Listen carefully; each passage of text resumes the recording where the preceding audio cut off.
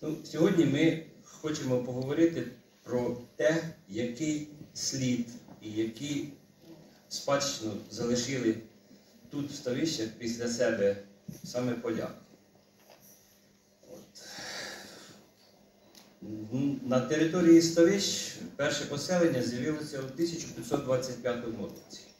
От. Але що е, назви як такової ми не знаємо. Одні кажуть, що нібито це був колись Любомир, другі кажуть, що якісь другі назви. Все. Перша згадка про те, що ставище саме називається ставищами, з'явилася в 1635 році, коли з'явився запис географічного словника царства польського. Тоді перша з'явилася запись, саме назва була не ставище, так як ми зараз говоримо, а було ставища. От кажуть, що назва ця пов'язана з тим, що тут, на цій території, на відстані 10 верст, було майже 100 ставків. От. І в зв'язку з тим, що от така в нас місцевість, яка дозволяє будувати такі греблі і такі споруди, які можуть е, дозволяти людям робити ставки, набирати воду, розводити рибу, і тому пішла така назва. В 1635 році вже в Ставищах був перший гарнізон, перші були оборонні укріплення.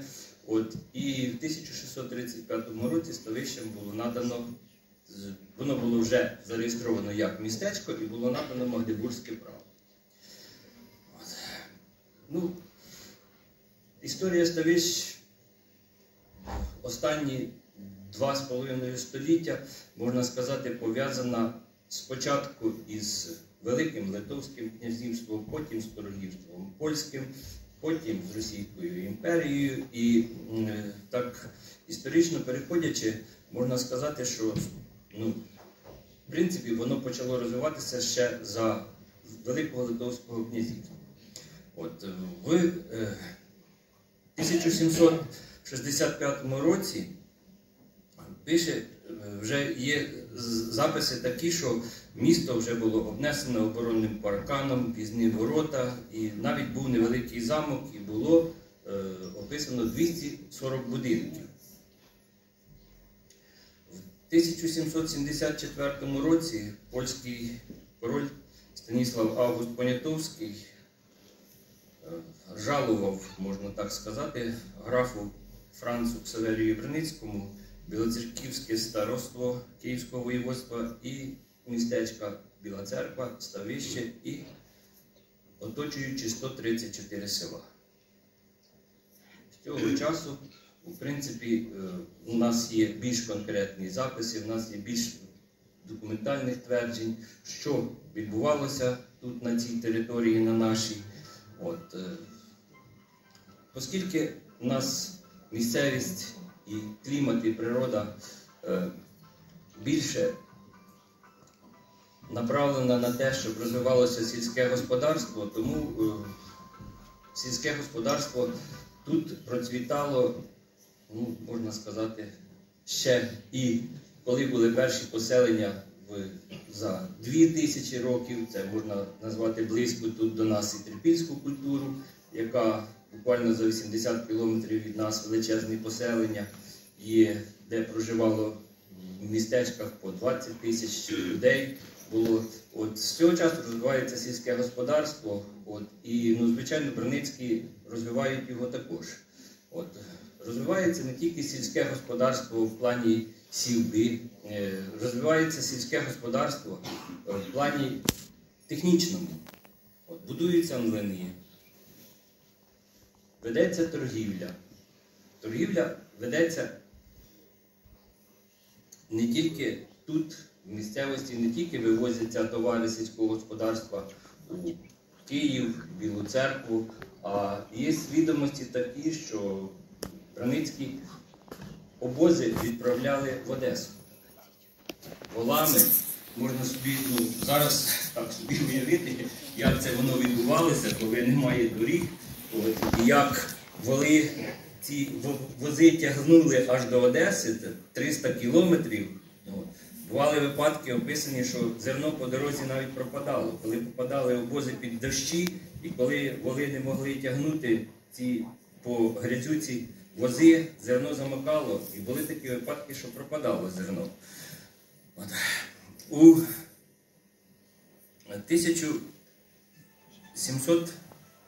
1778 році граф Северій Браницький е, будує у ставищах костел. Костел парафії Пресвятої Трійці. От. Стиль цього костела пізнє барокко. Ну, будується цей костел на місці дерев'яного костелу, який був збудований ще в 1756 році, коли ставище ще було під управлінням старости Білоцерківського Єжи Августа Мнішика. Старий костел не розвалили, його було перенесено на територію сучасного польського кладовища. От там же поряд було збудовано і кам'яну капличку, от, а на місці костела дерев'яного збудовується новий костел. Костел будується в стилі барокко, і він збудований був настільки прогресивно, настільки він був гарно оздоблений. От, е, там були картини е, Рафаеля. Ну, звичайно, не Рафаель їх намалював, а це копії картин, але що були картини Рафаеля розп'яття, Мати Божа Шкаплерна, от, Святий Антоній. Е, Малював ці картини художник Роман Костемповський. Він їздив спеціально в Рим, його було направлено. Він робив копії з цих картин, а потім приїхав сюди і тут вже малював. Костел був оздоблений білим карарським мармуром. Прекрасний був вівтар в цьому костелі. І за наскільки він був вдало збудований, наскільки він гарно виглядав, ми зараз можемо собі тільки уявити. От. Але що за прообразом цього костела пізніше графи Браницькі будували костел, який ми можемо зараз побачити в Білій церкві. Це костел Іоанна Хрестителя, який майже точно копіює цей костел, який був у ставищах. На жаль, костел після революції в 30-х роках було знищено. От, І сьогодні ми можемо з цього костела мати тільки невеличкі залишки, які, якщо ви перейдете з нами до нашої е, приміщення, де ми знаходиться наше українсько-польське товариство, де наша капличка, ви можете навіть побачити два фрагмента з цього костела, які залишилися, які люди зберегли, які передали нам. І вони там є, і ви можете побачити, наскільки це була гарна, наскільки це була витончена робота. Після смерті Ксаверія Бреницького, от, помістя успадковує його дружина Олександра Браницька. Олександра Браницька була православною, вона була із роду Енгельгардів. От, але можна сказати про те, що вона опікувалася не тільки православними церквами, але й опікувалася також і католицькими парафіями. Вона допомагала в будівництві храмів. От, і вона е, більше уваги приділяла, можна сказати, не стільки ставищам, скільки білій церкві. За її протекцією будується парк Олександрія, от, е, будується поштова станція в Білій церкві, багато різних е, таких е, культових і споруд. От вона старалася більше увагу приділяти Білій церкві. На відміну від неї, її син Олександр Браницький, який став власником маєтку після її смерті, більше увагу приділяв саме ставищам. Він більше любив природу, він більше любив, він взагалі був такою натурою, яка е, творчою, можна сказати, і цікавою. Він дуже багатьом цікавився багатьма речами. Він е, дуже любив історію, їздив в різні подорожі в Єгипті. Він е, об'їздив дуже багато країн і звідтам привозив різні речі. Він привозив насіння рослин, він навіть привозив звірів для свого зоопарку деякі. От в нього був невеликий зоопарк, в якому були звірі, які він привозив із своїх подорожей. От за саме правління Олександра Браницького в 1856 році на території економії, яка була, от у нас тут парк є, за парком там е, була економія, на, е, і на місці цієї економії Олександр Браницький починає будівництво палацу, який в 1856 році вже був збудований. От, е, палац був одноповерховий, палац був розкішно вбраний всередині. От, звичайно, що були прекрасні меблі, були картини, була, був, був, був дуже красивий посуд. От, і до цього палацу було пробудовано два двоповерхові флігелі, от, е, які були з'єднані критими терасами із самим палацом. Був так званий дамський флігель і був мужський флігель, чоловічий флігель. От це були флігелі для гостей, які приїжджали до графа Браницького. Сьогодні, на превеликий жаль, у нас залишився тільки двоповерховий зал, залишився тільки двоповерховий дамський флігель. От е, в 1918 році, після революції, сам палац був спалений, розграбований. От е, одне приміщення було розвалене також, і залишився тільки один флігель, е, в якому після революції в нас була і школа. Також було там приміщення заводу «Точ електроприлад».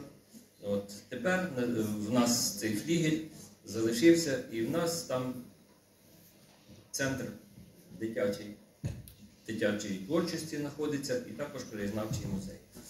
Е, На сьогоднішній день, крім цієї будови, поряд з цією будовою залишилася ще одна пам'ятка архітектури, яка, е, яку збудували графи Браницькі. Ну, вона мала більше технічне призначення це водонапірна вежа. Вежа побудована була в 1856 році. Вона подавала воду в палац. От, і на сьогоднішній день, це можна сказати, це також пам'ятка архітектури, таких веж в такому стилі і в такому стані на Україні залишилося всього 5. І ми маємо таку вежу зараз тут, в Ставищах залишилася така вежа. От, і гості, хто захоче, прогуляється парком от, і подивиться на це приміщення.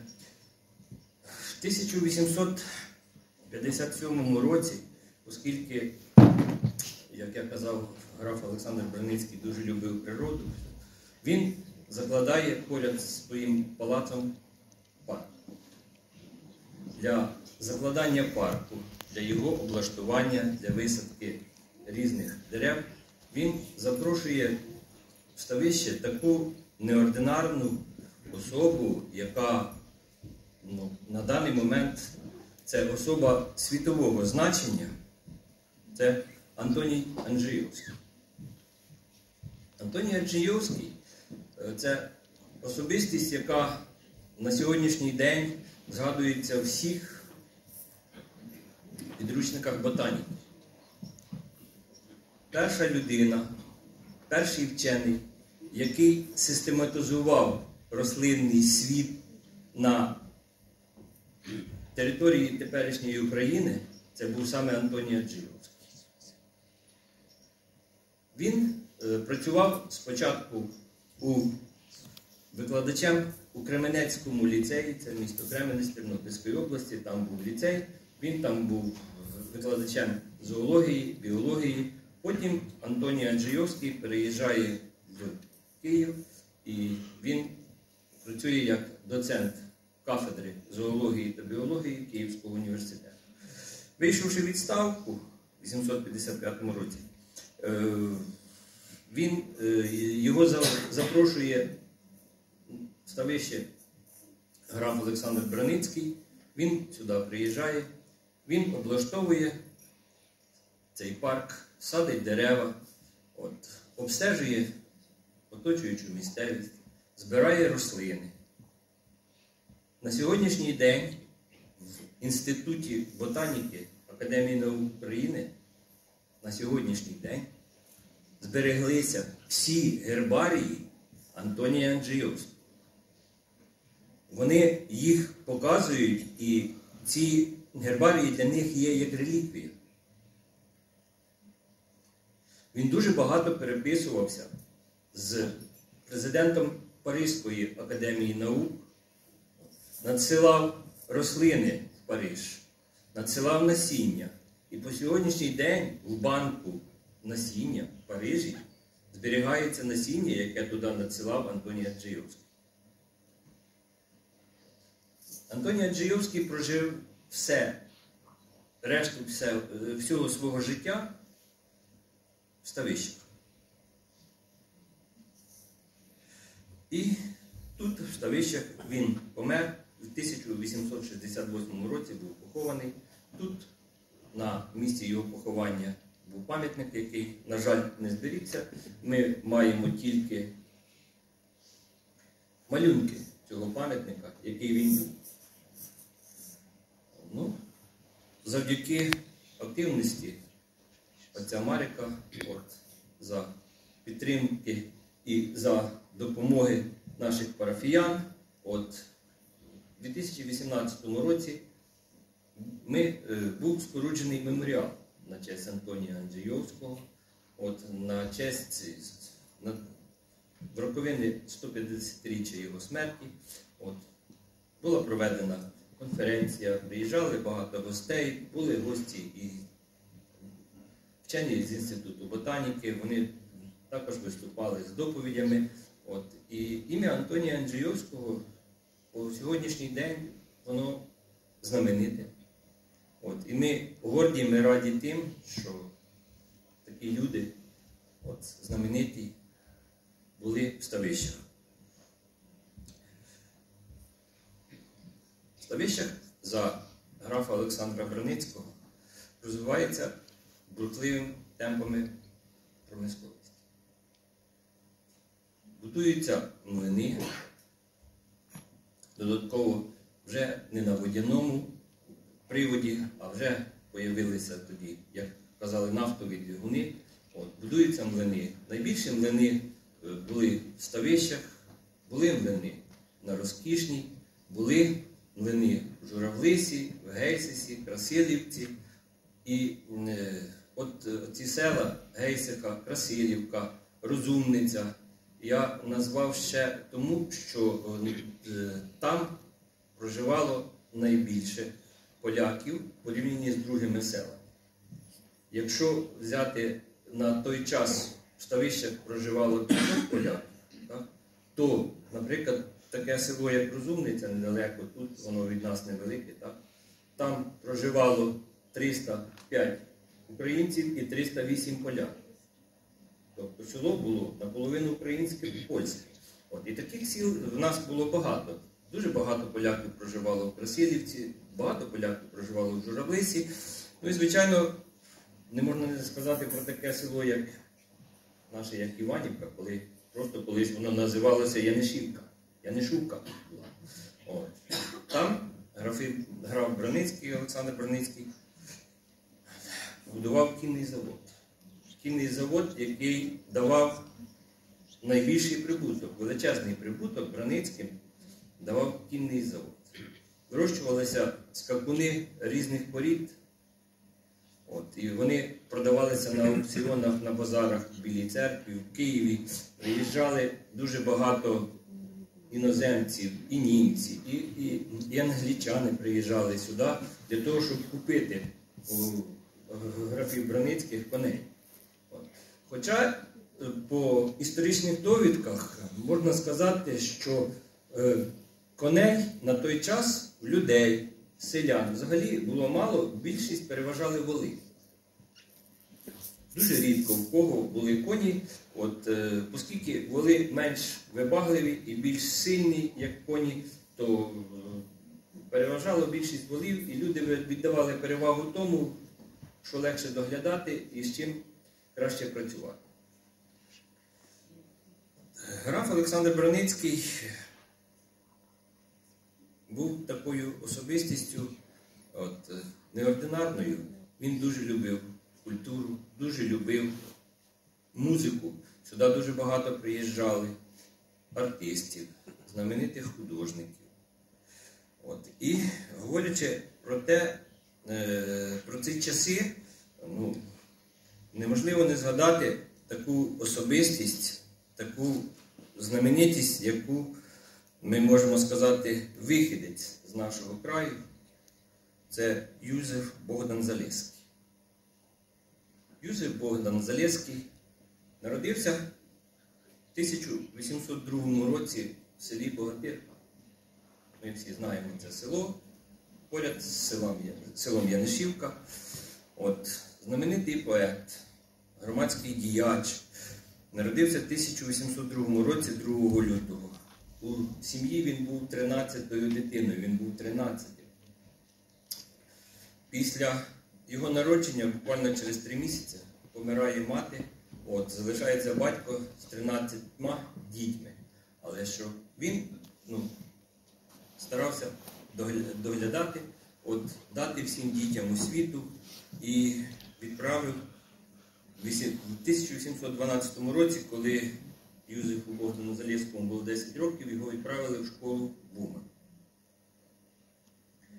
Він навчався в Умані, і тут він познайомився під час навчання в школі ще з, од- з- з одною особистістю, яка також відома в історії Польщі Северин Гощинський.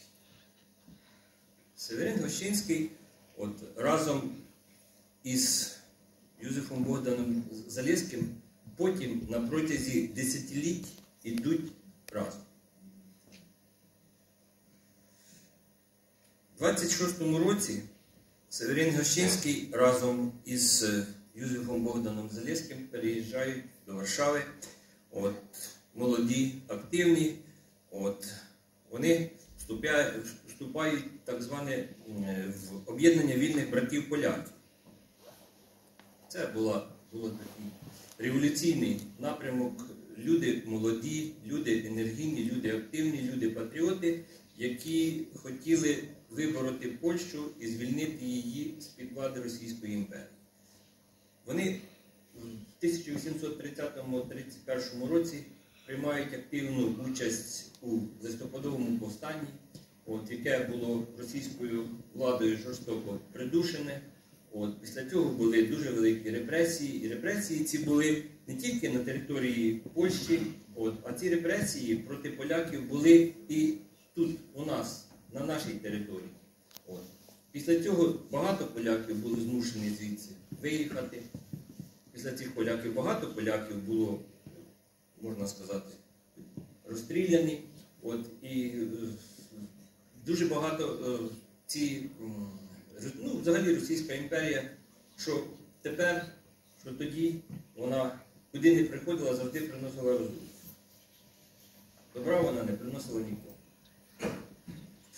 Після е, того, коли листопадове повстання було придушене, от, Юзеф Богдан Залєський виїжджає разом із Сеймом. Польським виїжджає в Париж. У Парижі е, він прожив до кінця свого життя. Там він познайомився і заприятелював з такою неординарною і знаменитою особистістю, всесвітньо відомою особистістю, як Адам Міцкевич. Також він заприятелював з Миколою Гоголем, якого ми також знаємо, письменника. От. І що цікаво, от, історія пише і записки є про те, що е, оскільки Гоголь не знав польської мови, то Юзеф Богдан Залєський спілкувався з ним по-українськи. Вони говорили по-українськи, не по-російськи, а по-українськи. Гоголь взагалі він, е, ну як, він сам українець, от, але що за таких часів він писав російською мовою, тому що інакше він не став би ні письменником, ні тією особистістю, якою він є для історії і для літератури на даний момент. Юзеф Богдан Залєзький дуже цікава особистість, не тільки такий як громадський діяч, не тільки як революціонер, але знаменитий як поет як композитор. Він пише музику, пише поеми, пише думи, пише рапсодії. От, і ці твори виконуються по сьогоднішній день на декілька його віршів. От, музику написав такий знаменитий польський поет, Фредерік Шопен. Якщо ми будемо рухатися історією далі, то після смерті е, Олександра Броницького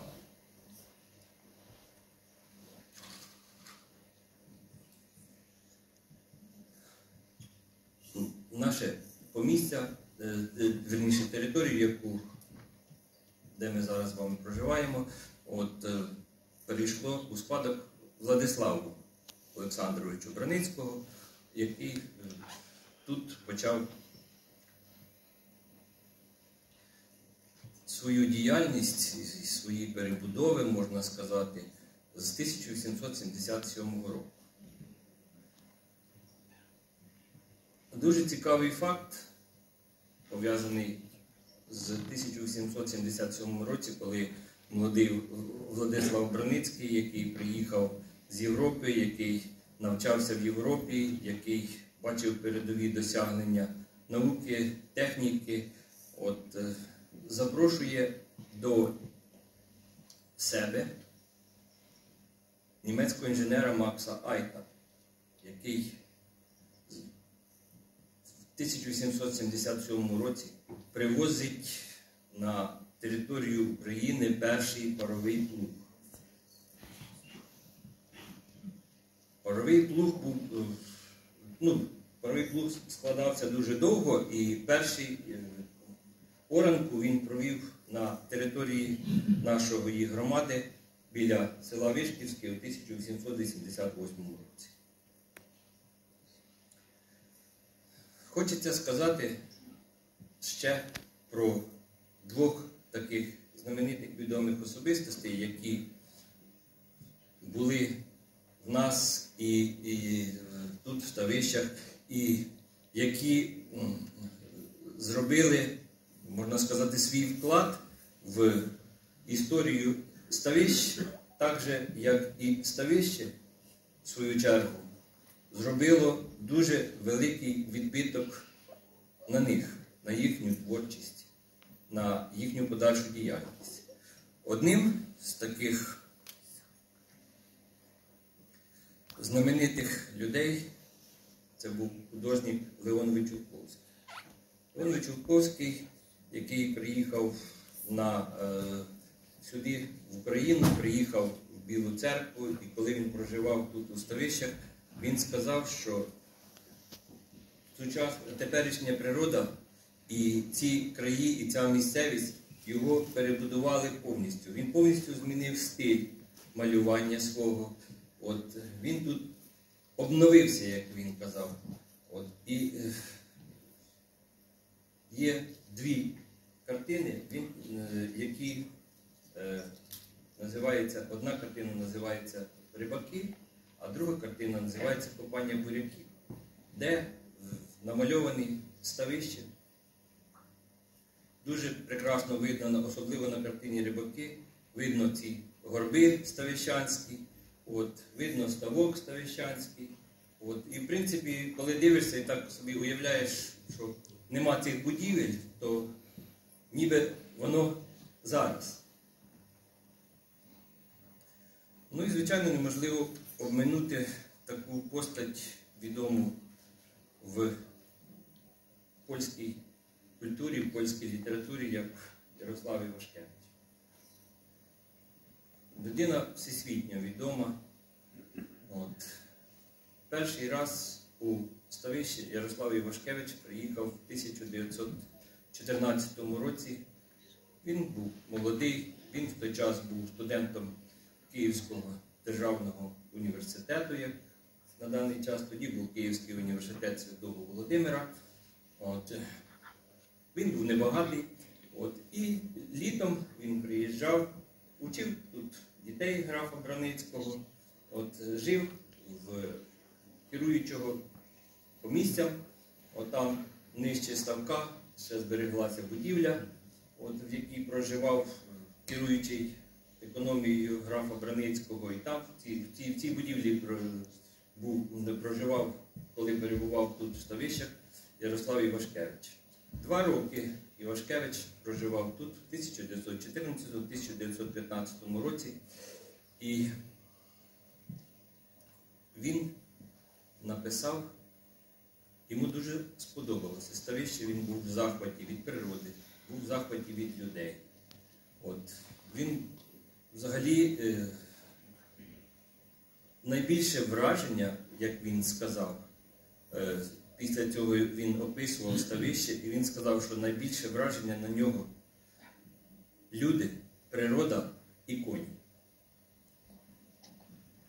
Люди, природа і коні. От. Звичайно, що конеферма була і кінні прогулянки, куди е, Браницьких, куди запрошували і Ярослава Івашкевича, то і він був дуже радий цьому, і він дуже любив природу. От. І, звичайно, він в своїх творах не забув описати ставище. От. Є вірші, де він описує ставище. От. Також ставище описано частково в його ну, самій знаменитій е, творі його це роман-трилогія Честь і слава. В кінці життя свого, коли е, Івашкевич вже проживав у Польщі, він запланував написати дуже великий твір, який називався Подорожі Україною. От, і е, в ньому були розділи такі е, по різних місцях, куди він планував і хотів е, поїхати, і один розділ був ставище називався. На жаль, не встиг. Сам Іван е, Ярослав Івашкевич народився буквально недалеко від нас. Це село Кальник. Тут Вінницька область, Лінецький район. От батько його працював бухгалтером на цукровому заводі. І дуже цікаві факти пов'язують саме е, Ярослава Івашкевича і Максима Рильського. Батько Ярослава Івашкевича і батько Максима Рильського Тадей Рильський разом навчалися в університеті. Проходить буквально 25 років після цього, і Максим Рильський і Ярослав Івашкевич зустрічаються також в університеті, разом вчаться, разом дружать, разом творять. От. І коли Ярослав Івашкевич виїхав у Польщу, от, між ними збереглася дружба, між ними збереглася переписка. Вони, оскільки Максим Рильський, він також, можна сказати, наполовину поляк, батько в нього поляк, от, знає прекрасну польську мову, він перекладає твори Івашкевича, Івашкевич, в свою чергу, перекладає твори Максима Рильського на польську мову. От. В 1911 році граф Браницький починає будівництво нової лікарні, яка по сьогоднішній день збереглася, яка працює і яка функціонує от, е, на місці старої лікарні. Перша лікарня була в 1854 році. От, вона була невеличка, вона була е, на 40 ліжок. От, звичайно, що лікар був перший лікар, який у нас є відомості, це лікар Вацлав Горох, який працював лікарем. Але ця лікарня просто фізично не справлялася з потребами місцевого населення. От, і граф приступає до будівництва лікарні нової. Починається технічна революція, появляються перші літаки. От, і під впливом літакобудування граф Браніцький запланував побудувати ставище в лікарню у вигляді літака. Так вона і побудована. У 1913 році лікарня відкрита. В лікарні працює три лікаря. От. Вацлав Горох і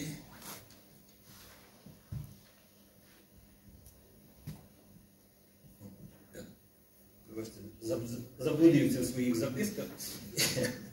І ще два лікарі. Для е, лікарів паралельно будується будиночок, де вони жили. Оцей будинок також зберігся по сьогоднішній день. Е, Після революції в цьому будинку була санстанція, після е, і рентген-кабінет там був. А от, сьогодні всі бажаючі, хто хоче зайти до нас, може побачити цей будиночок. От ми дуже вдячні адміністрації Леоніду Петровичу за те, що вони люб'язно надали нам цей будинок для нашого товариства, для нашої каплички. І ви знаєте, я взагалі хочу подякувати Леоніду Петровичу за розуміння, за підтримку, за допомогу, яку він е, надає для нашої релігійної громади, для нашого товариства. Хочемо подякувати йому за те, що за допомогу в прибиранні нашого католицького кладовища, яке було ну, в такому стані ну, поганому, в, якому плані? Після бурі, яка була у нас пройшла, повалено дуже багато було дерев, не тільки на, на кладовищі, взагалі в ставищах, і постраждав на превеликий жаль наш парк, от, який так плекали на протязі багатьох століть. От, ну, звичайно, що це буря, це катастрофа, ніхто цього не передбачав. Ну, ми дуже дякуємо Леоніду Петровичу за таку допомогу велику.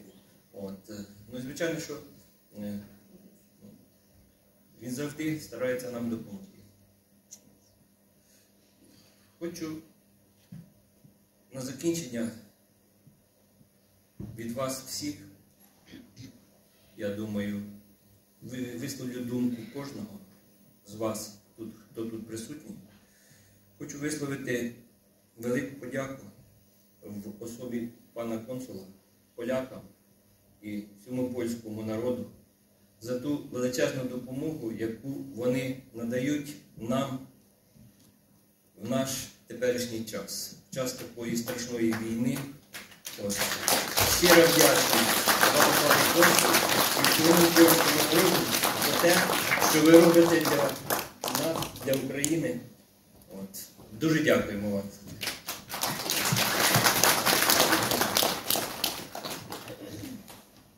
Дуже дякую за ці слова.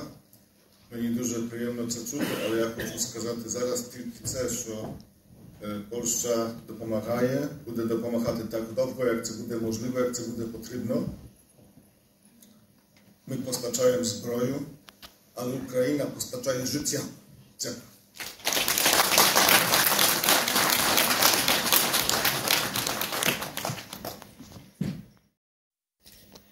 Мені дуже приємно, що можу бути тут з вами, що міг би бути тут з вами сьогодні.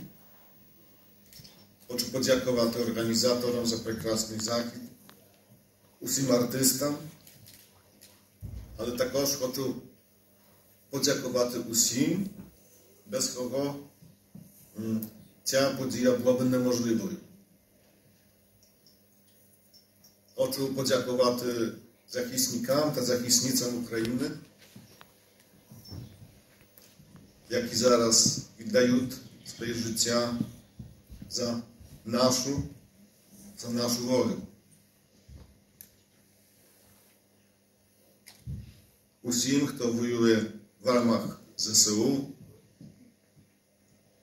усім, хто працює в Національній поліції, Нацгвардії, теробороні, усім волонтерам, усім, кому Україна та Європа не байдужа.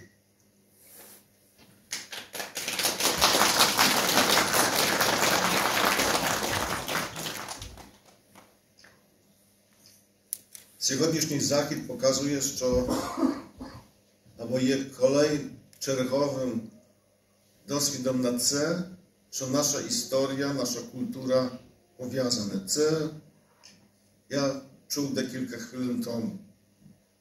Це отець Марек сказав. І це правда, це можна сказати, і це треба сказати, що це не моя думка, це було сказано набагато років раніше.